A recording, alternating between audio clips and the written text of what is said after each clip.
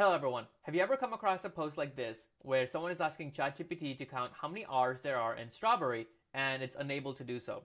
You might have seen this post or this, this, this, this, this, or this. Now, the issue is that a lot of these large language models start to hallucinate. And in today's video, we're going to be looking at how we can prevent models from hallucinating and giving a lot more of a direct answer. So let's go ahead and take a look. So here I have the ChatGPT 4o model, which is the state of the art.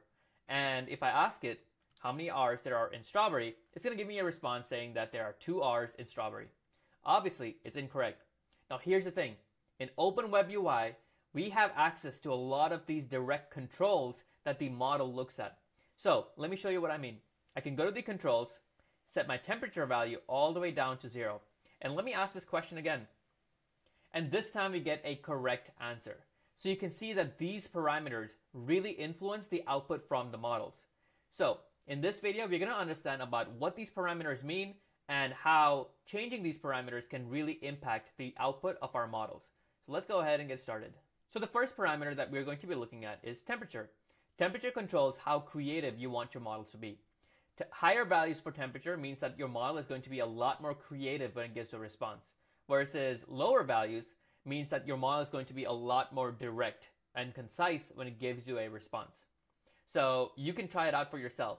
Let's say that we choose the GPT-4o mini model and we ask it to describe how it, how it feels to hold snow for the first time. This is the response that we can get from the temp when the value for temperature is zero. However, let's change the temperature value to one and ask the same question.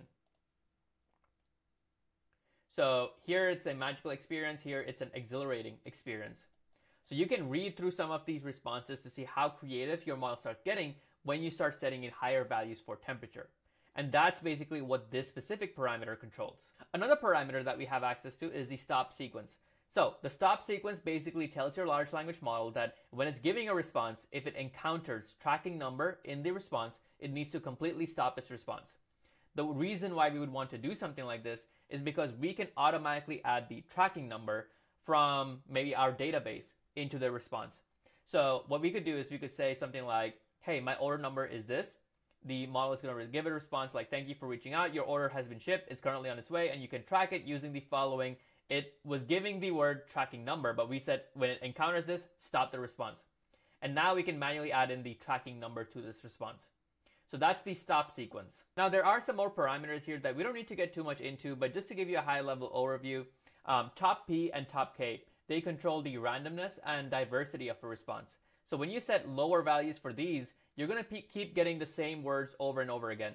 Versus when you set higher values, you'll get a much more of a diverse range of vocabulary that your model can choose from, and the response is also going to be a lot more diverse. Another parameter is context length.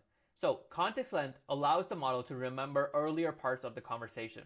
When your context length is low, like 2048, it's only going to remember the last 2048 words when it's giving a response. Versus when you set higher context length, the model is going to be able to remember a lot more of the earlier parts of the conversation. Obviously, the performance can start degrading. Maybe the model might give a lot more of a slower response.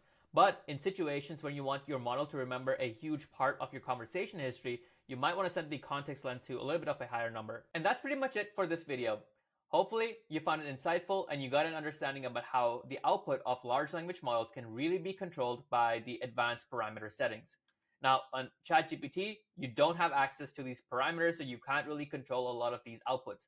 But with OpenWebUI, you can control the outputs of not just any OpenAI models, but any large language models that's available on Ollama. So if you found this video insightful, please like, comment, and subscribe. It will really help the channel out. And uh, if you have any further suggestions on you know future videos, then please feel free to leave a comment, and I'll I'll make sure that it gets addressed. That's it for this video. Thanks everyone, and I'll see you in the next one.